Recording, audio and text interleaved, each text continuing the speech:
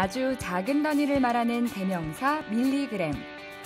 그만큼 아주 작은 공간까지 소중히 세세하게 정성을 쏟는 기업이 있습니다. 관심이 곧 배려가 되고 배려는 곧 사랑이 되는 디자인. 발달장애인의 특성을 배려한 디자인으로 모두가 편안하고 행복한 공간을 만드는 사람들.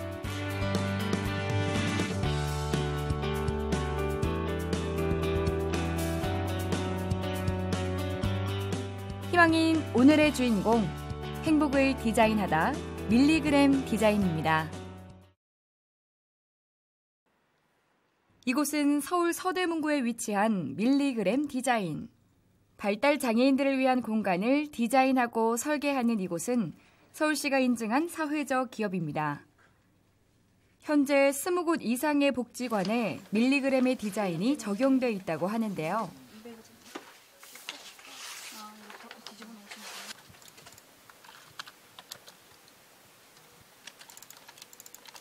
밀리그램 디자인의 중심에는 평범한 전업주부에서 건축회사 대표로 변신한 조명민 대표가 있습니다.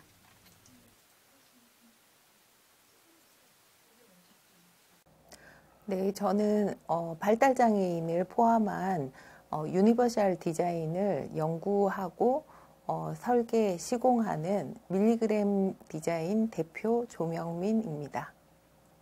밀리그램 디자인이란 어떤 회사인가요? 밀리그램 디자인은 어, 사회적 기업이면서 어, 발달장애인들을 위한 환경, 물리적 환경에 관련된 연구부터 시작을 하게 됐고요. 어, 그 이외에 뭐 장애인이라던가 뭐 치매 환자라던가 외상 후 스트레스가 있는 사람들이라던가 그런 분들을 위한 어떤 제품이라던가 물리적 환경이라던가 이런 것들을 연구하는 연구하고 설계 시공하는 어, 업체입니다. 그러면 그 밀리그램 디자인이 뭐 추구하는 디자인이 있다면 어떤 게 있을까요? 어, 누구나 어, 편안한 공간, 어, 편리하고 편안한 공간을 추구하고 있는 거죠. 그러면 그 일반적인 인테리어 디자인하고 이런 발달장애인 공간 디자인하고의 차이점을 좀 꼽아주신다면 어떤 게 있을까요? 음, 어, 일단은 심리적으로 좀 편안함을 가져야 되기 때문에 어, 색채 계획이라던가 그런 것도 신경을 많이 쓰고요. 또뭐 어, 좀 정보 같은 것도 빠르게 전달이 돼야 되기 때문에 지적인 수준이 좀 낮다 하더라도 빨리 정보를 어, 얻을 수 있는 쉬운 알아보기 쉬운 어, 뭐 사인이라던가 어, 동선이라던가 그런 것들을 연구하기도 하고요.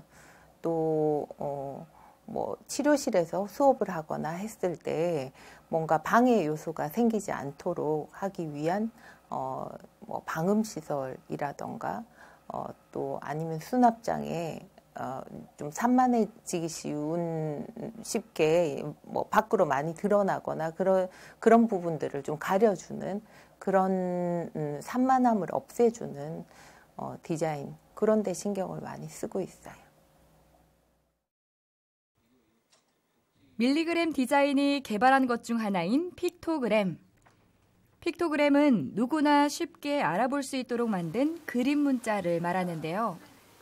너무 단순화된 픽토그램은 발달 장애인들이 오히려 알아보지 못하는 경우가 많다고 합니다. 좀 그렇고 크게 하는 게 좋은 여기에 밀리그램 디자인은 픽토그램에 보안 대체 의사소통을 적용한 그림 문자를 개발했는데요.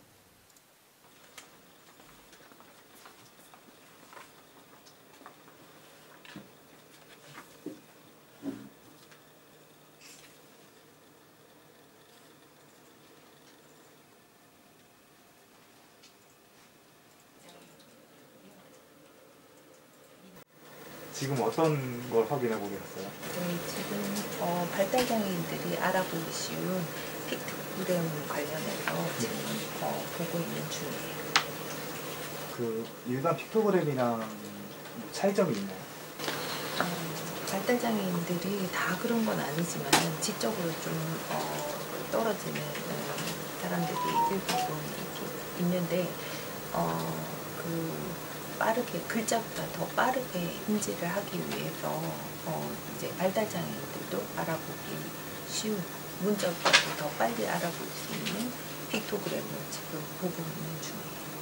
그럼 지금 그 대표님이 보시고 있는 거는 뭐 기존에 있는 일반 픽토그램인 건가요? 어, 기존에 있는 일반 픽토그램은 아니고 이거는 어, 발달 장애인들이 모여서 그러니까 전문가들이 만든 게 아니라 발달 장애인들이 어떤 게 더 알아보고 싶다라고 해서 선택을 하고 또 이런 어, 뭐 디자인을 수정하기를 원하는 부분들이 있으면 그런 의견들을 다 수렴해서 어, 만든 거고요. 이거를 음, 이제 2018년도에 저희가 연구를 어, 했는데 발달장애 한 300명 정도가 투입이 돼서 이 16종, 최종 16종이 개발되게 됐어요.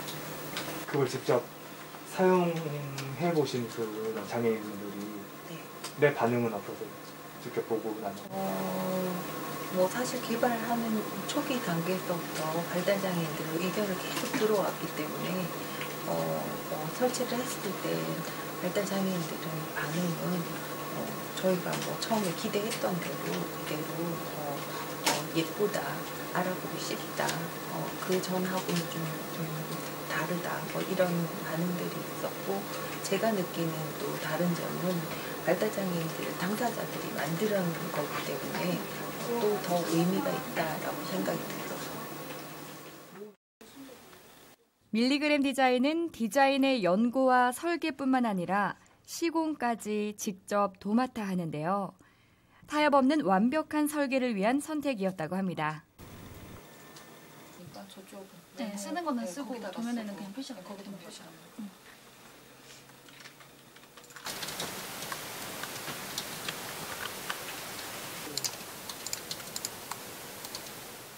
네 지금 어떤 작업하고 계시네요? 아 지금 복지관 리모델링 관련해서 도면 작업하고 있어요.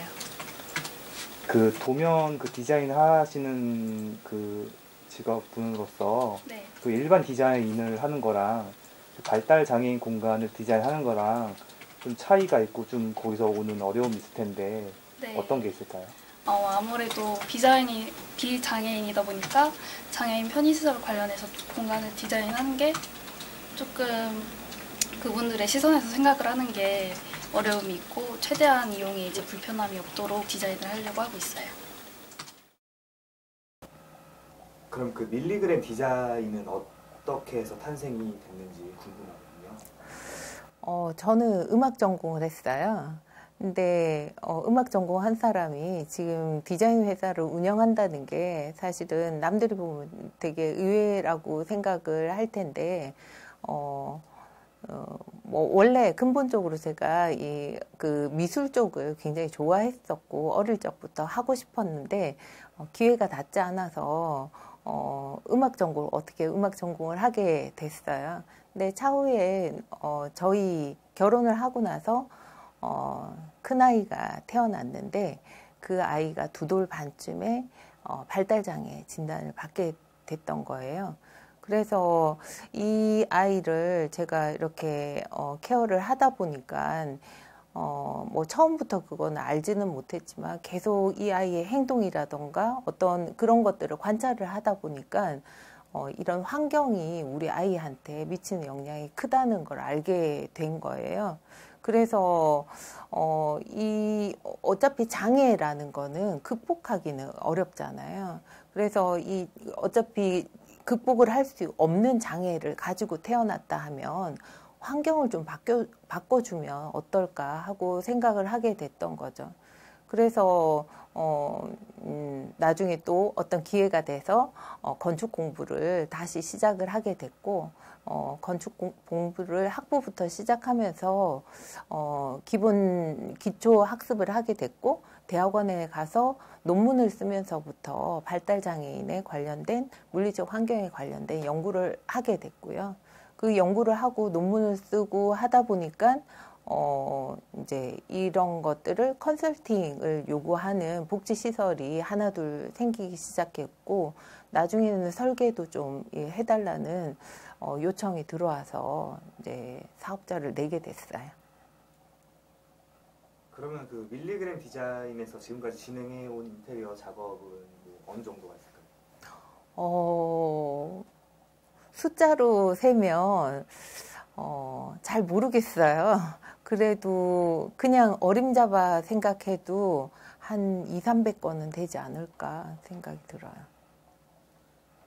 그럼 뭐 주로 어떤 곳에 설계와 공사를 주로 맡아오셨나요? 음, 복지시설이 일단 주로 많이 있고요. 뭐 복지시설하고 다른 일반 공사가 들어와도 복지시설 우선으로 저희가 많이 하기 때문에 복지시설이 많이 들어오고 병원이라던가 어, 어, 뭐 치매시설 이것도 복지시설이기 때문에 그런 쪽으로 많이 들어오고요. 어, 요즘은 이제 관공서 쪽에서도 어, 많이 좀 들어오는 편이에요. 학교라던가 학교도 어, 특수학교, 일반 학교도 많이 들어오고 있어요. 그럼 현재 작업 중인 공간이 있다면 어떤 곳이 있을까요? 지금 뭐 복지관은 늘 작업을 하고 있고요. 어, 뭐 지금 광주 쪽에 특수학교, 일반 학교 도움반 어, 이라던가 그런 것도 지금 진행을 하고 있고요. 어, 뭐 일반 사실 복지 시설만 저희가 공사를 해가지고는 어, 회사 운영하기가 상당히 힘들어요. 그래서 일반 공사도 해야지 회사 운영이 되기 때문에 어, 일반 공사도 같이 항상 진행을 하고 있고요.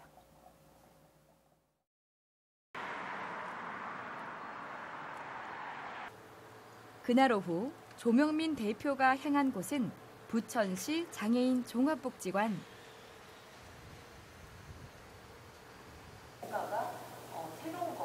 밀리그램 디자인은 이곳의 리모델링 작업을 맡았는데요. 장애인이나 노약자의 눈높이에 맞춰 꼼꼼하게 디자인 방향을 논의하고 있습니다. 난 3층, 어, 녹색에 왔으니까 나는 1층 이렇게 여자니까 왼쪽, 남자니까 오른쪽 이렇게 판단하는 것보다는 입구서부터 좀 판단을 하고 들어가는 게 보완이 돼야 되겠지만 어, 입구서부터 어, 문이 어, 여자니까 왼쪽, 남자니까 오른쪽 이렇게 판단하는 것보다는 이 그림이 너무 상세히 돼 있다 보니까 좀 이거를 그래도 좀 간략화해야지 빨리 이렇게 어, 어, 그 눈에 들어오지 않을까 하는 생각이 들고 기업의 대표임에도 그녀가 직접 현장에서 발로 뛰고 있는 이유. 건축학뿐만 아니라 사회복지를 전공하고 발달 장애를 가진 자녀의 부모로서 누구보다 사회적 약자들의 불편함을 잘 알고 있기 때문일 것입니다. 그잘 활용해서 해놓으면 오히려 이 길이 더 어, 활용 가치가 높은 10월 하반기에는 또 기대를 합니다. 네. 이걸 조금 더 그 이용자들이 좀 꾸며 놓으면서 더 이런 그 픽토그램이라든가 이런 게 눈에 잘 띄지 않나요? 네 네. 예, 그래 어느 정도 떨어지면 저게 이제 좀 뭉개져서 보이기 시작하잖아요. 예. 네, 여기는 어떤 일로 오시게 됐어요? 어, 여기는 장애인 복지관인데 최근에 저희가 디자인하고 어, 공사를 하게 됐어요. 어, 지금 어, 설계하고 전체 설계를 하고 지금 일부 시공을 했고 또 자녀분이 좀 남아 있긴 하거든요. 근데 그 중간 과정에서 한번 체크해 보기 위해서 방문하게 됐어요. 그 그럼 어, 전체적인 어떤 부분을 시공을 하셨는지 여기- 여기는 어, 부천시의 유일한 장애인 복지관이에요. 부천의 인구 밀도가 굉장히 높은데도 불구하고 장애인 복지관이 여기 한 군데밖에 없어요. 그래서 좀 어, 뭔가 좀 화사하게 그렇게 꾸미고자 어, 노력을 했고요. 적은 비용에 좀 효과를 누리게 하기 위해서는 색깔을 어, 적용하는 방법 이 최선이라고 생각을 하고 일단 전체적인 층별로 색깔을 좀 정리를 어, 시도를 했고요.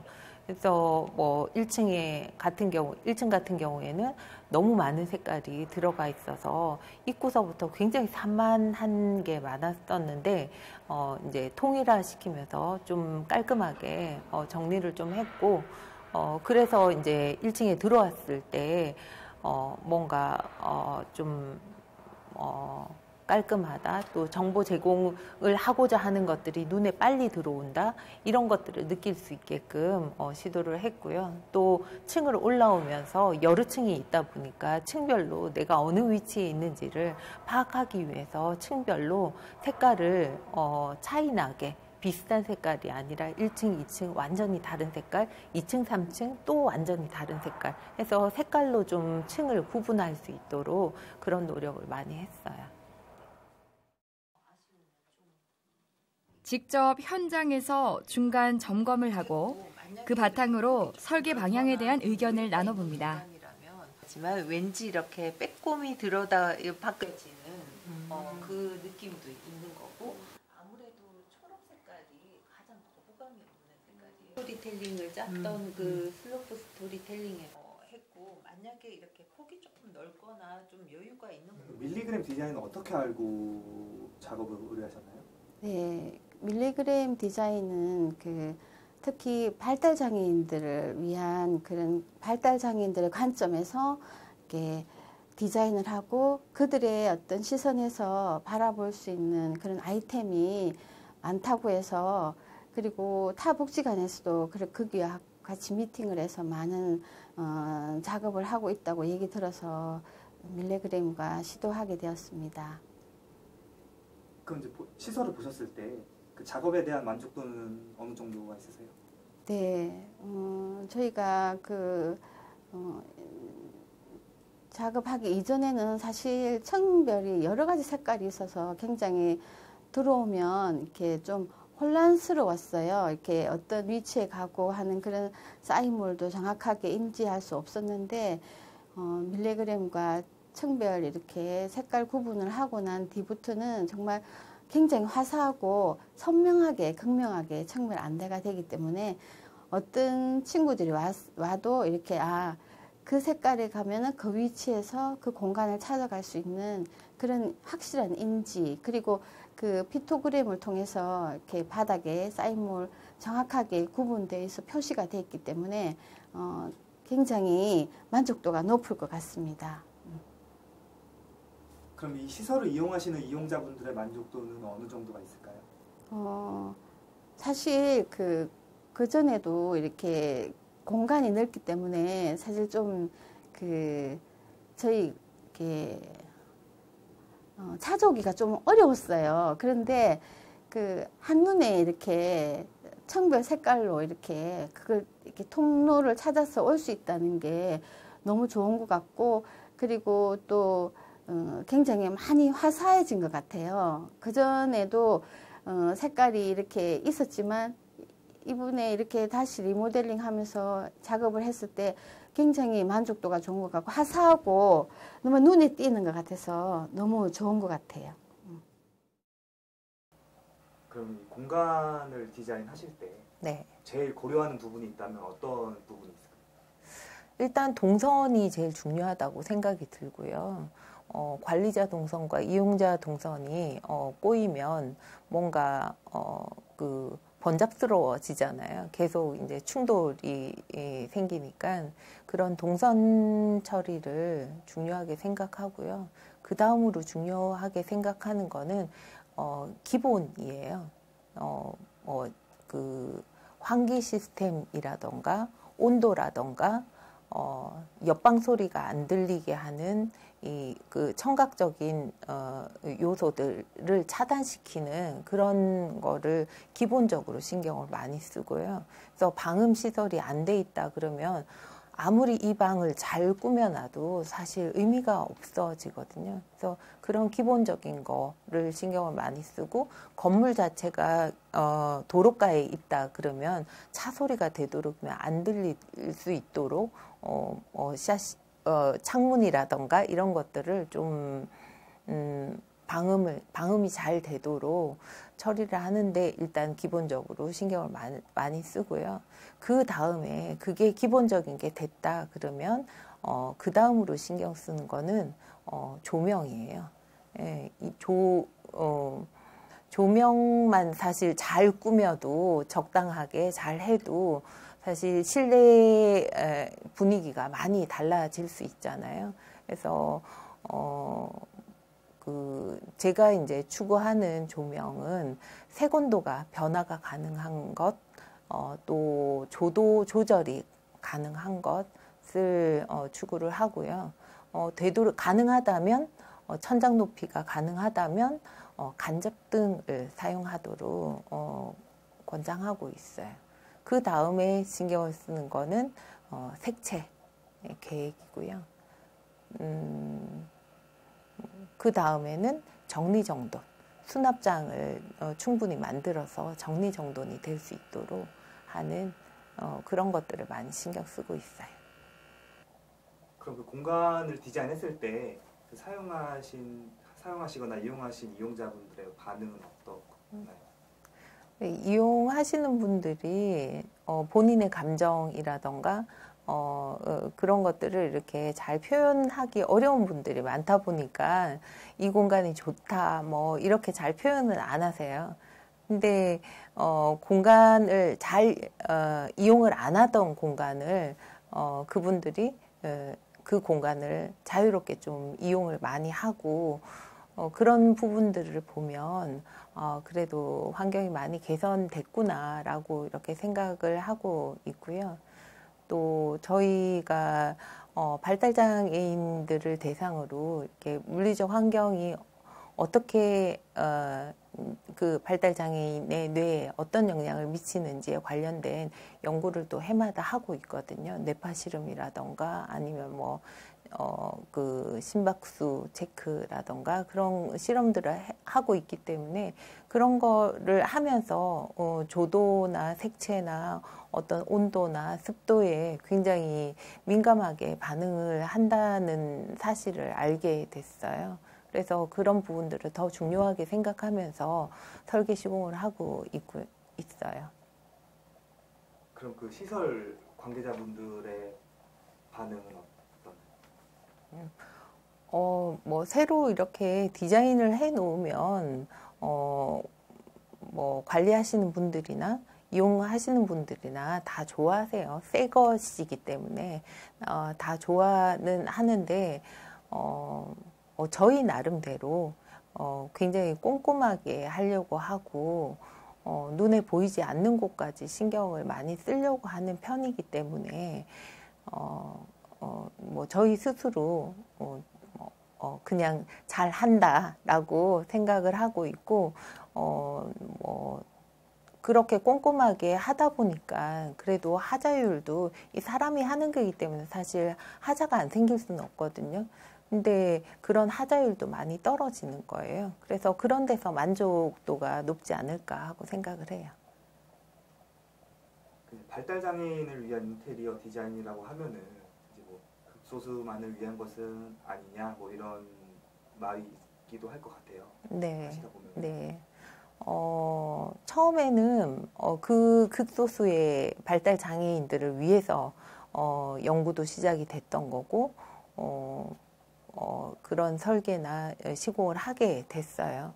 근데 어, 나중에 제가 이걸 실험을 해보니까 어, 제가 실험을 할 때 항상 어, 어, 자폐성 장애, 지적 장애, 비장애 이렇게 세 군으로 나눠서 어, 실험을 하거든요.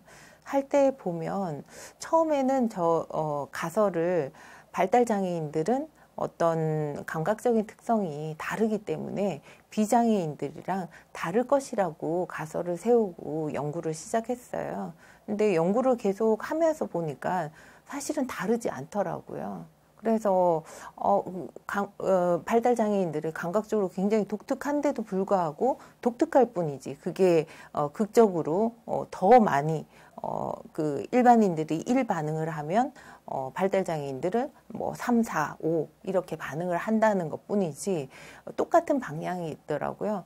이 결과는 어, 굉장히 중요한 게 어, 발달 장애인들한테 적합한 환경은 누구한테나 적합하다는 얘기가 되는 거예요. 그래서 어, 발달 장애인들이 편안한 공간은 누구한테나 편안하기 때문에 어, 발, 발달 장애인들을 위한 연구를 시작했지만 지금은 누구나 편안한 공간이 되는 거죠. 밀리그램 디자인을 운영하시면서 좀 힘드셨던 순간도 있으셨을 것 같아요. 네, 어,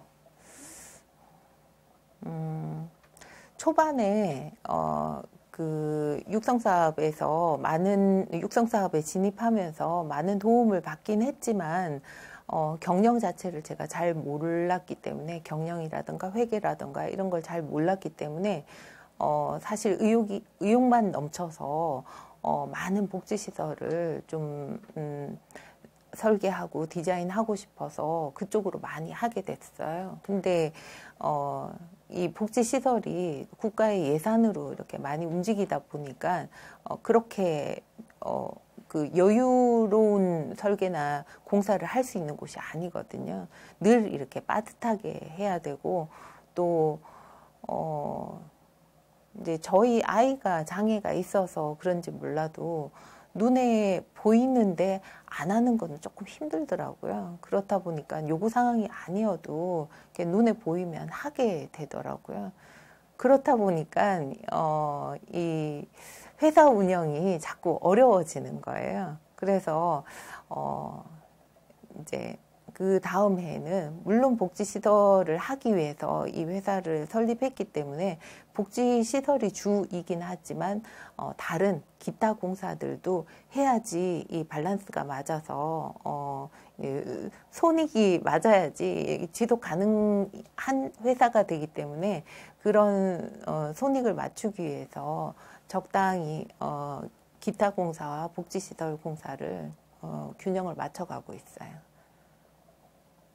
그러면 그 2020년에 밀리그램 디자인의 목표가 있다면 어떤 게 있을까요?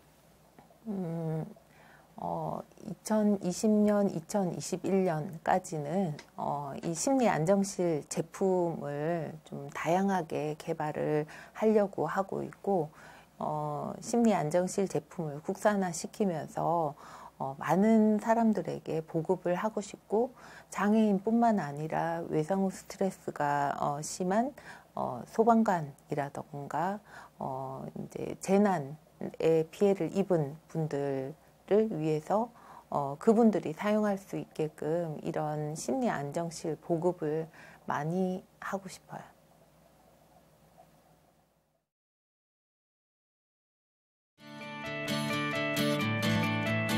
디자인계의 거장 필립 스탁은 디자인의 사랑은 인간에 대한 사랑이다 라고 말했습니다. 장애인, 비장애인 차별 없이 누구나 행복해질 수 있는 공간을 추구하는 기업 밀리그램 디자인. 그들이 만든 공간에서 더 많은 사람들이 평안을 느낄 수 있기를 기대해 봅니다.